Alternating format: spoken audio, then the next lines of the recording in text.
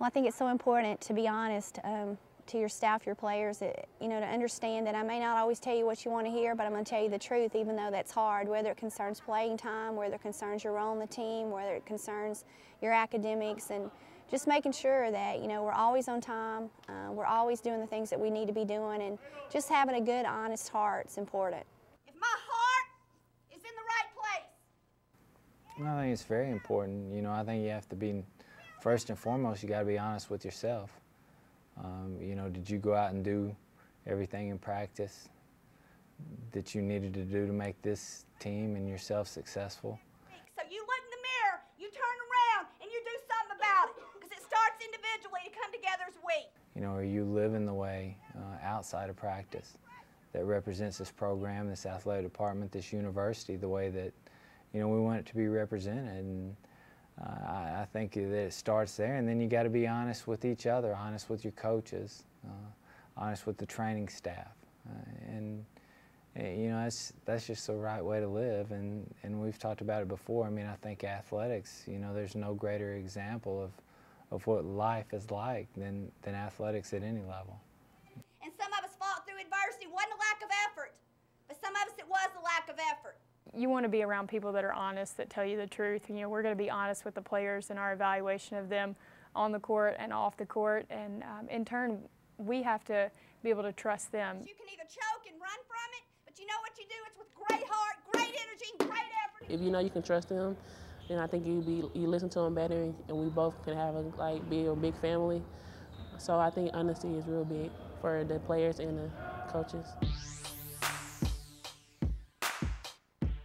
Your faith has to be important and to respect each other's faith, you know, different backgrounds and where you come from. And, you know, we always talk a lot about, you know, not only having faith, you know, in our religion, but also faith in one another. I mean, when things get tough, when things aren't going our way every day on and off the floor.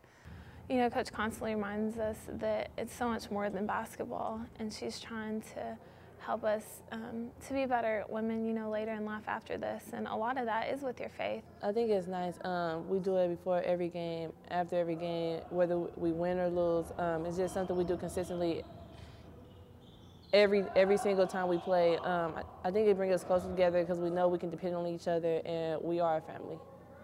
I just think coming together and sharing, um, you know, your faith as a team is very important. And so when we do pray, it does bring us together as a whole and um, just unites us in a whole nother way.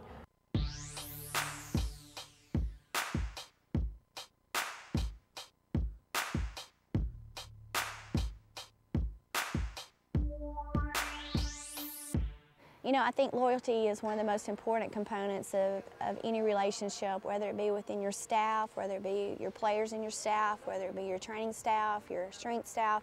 You've got to be able to trust one another. And loyalty is, is an important component of any successful organization as there is. So we've got to be able to trust each other and be loyal through good and bad and know that we can always count on each other. It's loyalty to each other.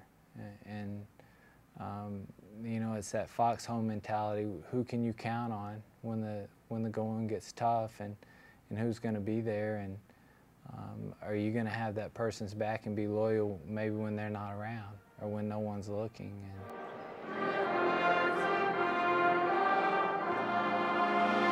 You got to have the Lady Raiders back all the time. Um, you got to wear the, what's across your chest every day, even if you're not in basketball, just walking around or just with your family. You got to have that loyalty that you're going to do right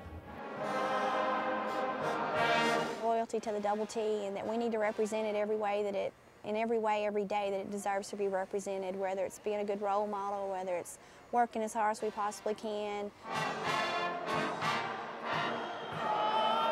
Don't play for the name on the back of the jersey. Play for the double T, and that's what's important. And this team's done a great job with that this year.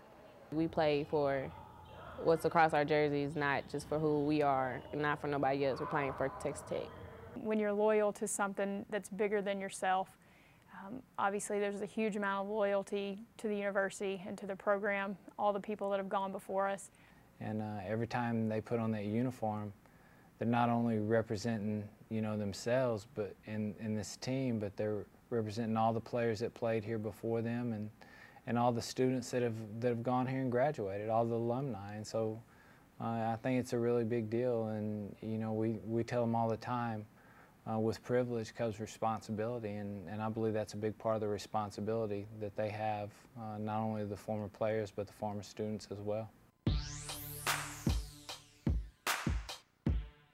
You have to respect the game, you have to respect individually each other, you have to respect our team goals. Just respect is so important to our success. I think that those kids have learned that, and I think around here we've all learned that. I think that's the reason why, you know, if you people are successful because they respect the people that are around them. That's why you out there playing. That's why you have a scholarship to play basketball. So you have to respect it, uh, respect what it brings, respect what you can bring to the game of basketball. It's, it's just all around. Respect for the program, respect for those people who've been there, done it before you. The opportunity that you've been given to put a Lady Raider uniform on every day, and um, so I think that's most important. And then everything else will take care of itself.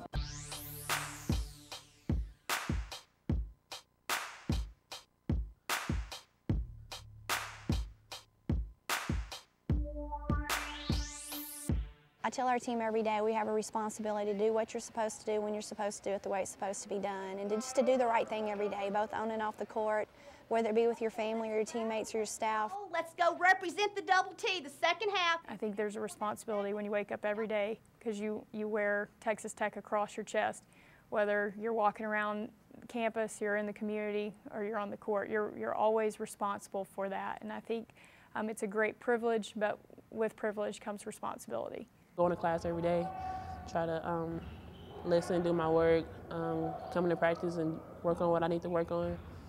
Just mainly to me, uh, um, just going to class, focus on my academics first, and then basketball will come. He throws it to Mallard, right elbow. Hard drive into the lane, layup good. Nice, strong move. Oh, I think we all have a responsibility, whether it be your position on the court, you know, as a guard or, or a post, um, or your responsibility to, to do your best in the classroom. It's about opportunity. Get up in the morning and do the right thing. Uh, you know, for a lot of these players, this is the first time that they've been on their own. And so, you know, now mom and dad or, or whoever it was isn't there to say, okay, you know, it's time to get up and go to, to practice or it's time to get up and go to school or class. And Responsibility is, is a big one because you gotta be able to take care of things and handle things while being under pressure and stress sometimes and handle adversity and stuff. Mo Smalls, a right wing three, got it! They have responsibility in that, that manner. They have responsibility to their teammates, you know, they, they need to work hard and, and push them. Make a play. Do something to make somebody else better in the second half. Let's go. I feel like we have a responsibility to get out and give back to community that gives so much to us. I mean, you know, these kids have to understand that, you know, they're healthy, they've got a full scholarship. You have to give to receive, but I think giving is more important than anything. If you give, if you give, you feel good about yourself and knowing you're doing something good for others. And, you know, when they leave Texas Tech, I want them to continue to be ambassadors for this university and, you know, for this great sport and know that they're role models and they have a lot to, to give. And, you know, athletes sometimes are often accused of taking, and we want to be givers and not takers.